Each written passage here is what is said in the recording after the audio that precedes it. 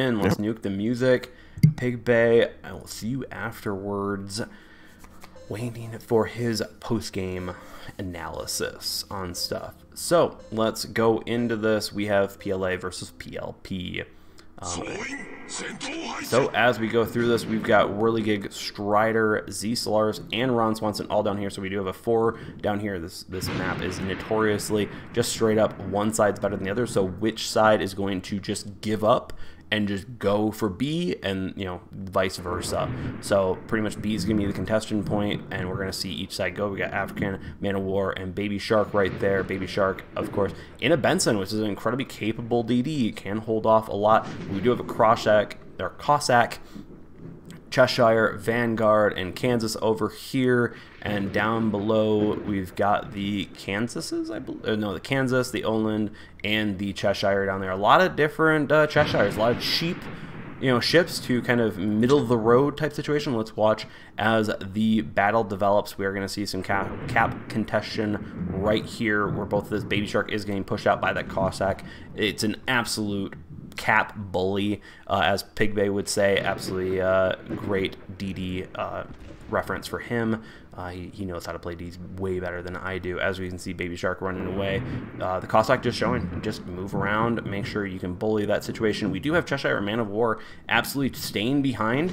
I don't think that's a good idea for Man of War right here. We have a you know you're in your offset area already maybe he's just gonna die there and that's that's his that's their job to just die there and just kind of keep these two ships at bay. But of course you're already seeing blake disengage down there and they're moving the kansas and the cossack down below. So absolutely going to go versus five versus five at the cb cap situation. We are going to see that. We do see some long range torpedoes from the oland coming in and those are pretty dangerous. Those can start a lot of floods. If they can keep on uh, keep those torps out there, keep them uh, flooding up the ships. You're going to see them launch one at a time because the Oland X has a pretty fast reload on their torpedoes. So yep, you just see them going back and forth, but they are all just about keeping people moving and keeping people flooded. So let's see exactly who can do that better, who gets better luck. Fly Rider absolutely getting that flood, but of course healing immediately. We are seeing... Uh, CN absolutely pushing on that, but unfortunately it looks like mostly going to miss. The Vanguard's an incredibly maneuverable ship, able to definitely dodge whatever is thrown out there. Baby Shark is contesting with Cheshire and does have a Cheshire backup, so we might see if the Northern of uh, Baby Shark and Man of War can absolutely push on this. We are having a little bit of a uh, East versus West battle right here, so we're going to see exactly where's the holes going to show up, where's the first major hits and major deaths going to appear out of this. And as you can tell, we are absolutely seeing Fly Rider taking a large portion of that damage, absolutely focus firing, where African absolutely is taking a good amount of damage, backing out. Vanguard has a lot of maneuverability, can stay alive a bit longer, but of course, with at this level of play, it's gonna be a little uh, harder to do that. Fly Rider is going down. That is a Kansas. That is one down. So of course, let's see if they can come back from that loss over here. They do have two caps, so they are winning the cap battle, but unfortunately, because of that Kansas death, not in the point lead. Now let's see if Ron Swanson right now is what they're doing right here is specifically preventing the enemy team from using auto aim and making it a little bit harder to do that. But Blake still nails African right there. Great job from Blake right there. That absolutely just shows the level of play you're looking at is that this type of play can be done. It's just not as effective as a lot of people think at this level. But let's see exactly if Strider in the Roma, which is once again this incredibly powerful ship, let's see if they can move from there. So uh, as we can do this, we are seeing uh, the DD focused. We want to make sure the DDs get out. Whoever kills the DDs first wins. But right now, it's just a slugfest. We're going to see exactly where they win. Man of War is doing a great job just keeping the northern area at bay. These four ships have basically just been just fighting, and that's exactly what they're trying to do. They're trying to pull guns away so that these, uh, of course, there was four down here or five.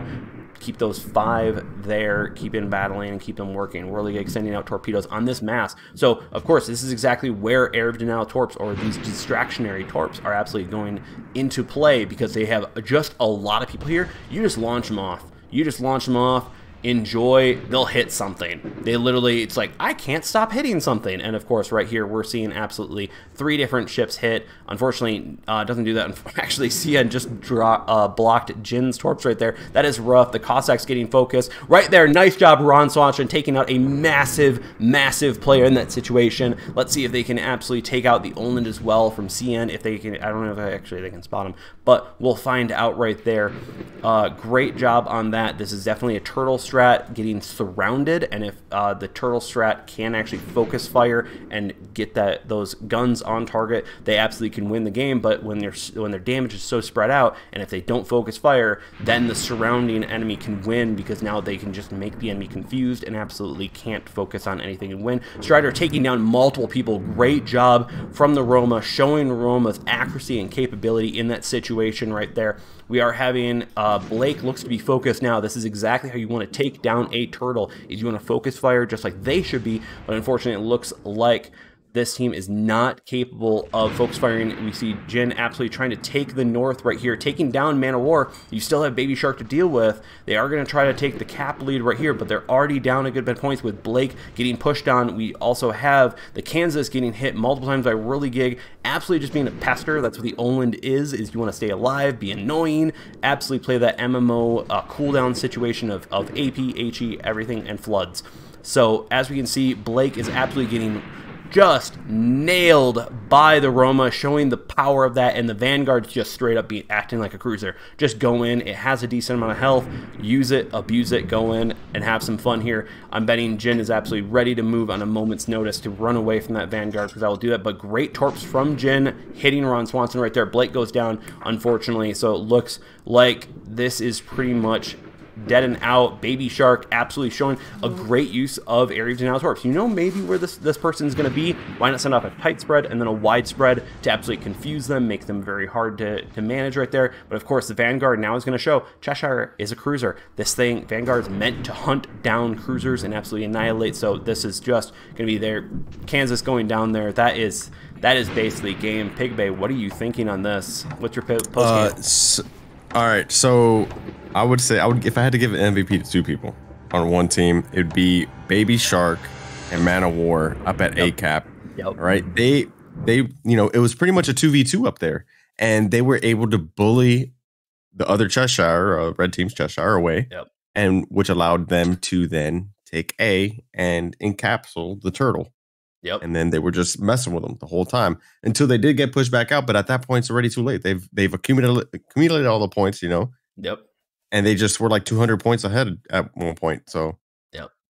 No, that's def- definitely a good good shout out to them. They were the I wouldn't say those roamers, but they were definitely they could have been the sacrificial offerings. yeah, yeah but been. they held their own. They're oh, like, yeah. hey, y- y'all are gonna die up there. I'm sorry, you know, take it for the team. Yeah, but they held their own and actually ended up winning that fight. So oh, good yeah. on them. Yeah, especially showing that the Cheshire can hold its own pretty well. It, it can. It's but, just not in that typical. Not yeah. Typical. So what I what I was seeing is the HE spam coming from. So yep. Um, shit, was it Man of War? Yeah, Man of yeah, War was War. driving the uh, Cheshire for Yoho. I don't know who was driving the one for um. Yellow. Red. Yeah. Yeah, PLA. So I don't know who was driving that one, but uh, once they had a three permanent firearm, he just ran. He was like, yeah. "I'm out," Yeah. and it just pretty much pretty much bullied him. Just the Benson and Oh yeah, but yeah. No, that was a great place, and I also have to give give hands to Strider showing the strength of just basically showing the power oh. of the Roma and and making those pushes up there. I do have to say that you know this shows the Vanguard its capabilities. It's just a very good all around ship, and especially when you are having having a lot of point situations. you Sometimes you want to go for uh, those all arounders.